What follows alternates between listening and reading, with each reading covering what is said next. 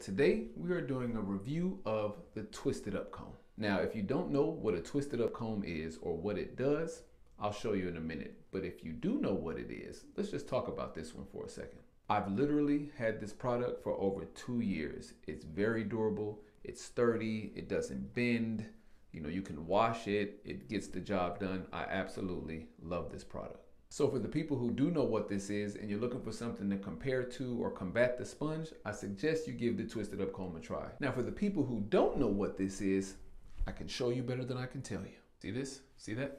See my hair is all flat and matted? Just got out the shower. Yep, see that? Look at that. We're gonna twist it up. Now I always blow dry my hair before I use the twist it up comb because it actually does a better job when your hair is dry. So I'm gonna blow dry my hair, we're gonna twist it up, then you guys can see the results.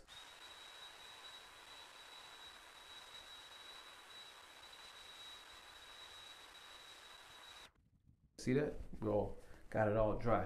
Now from what I've seen, it's always better to use this and go with the natural curl pattern of your hair so you can yield the best results. So now let's twist it up.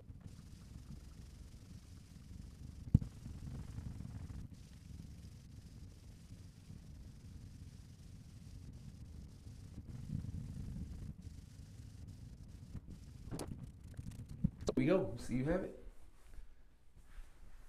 I'm all twisted up. So whether you're trying to start dreads or just rock the twisted up look, the twist it up comb, where's it at?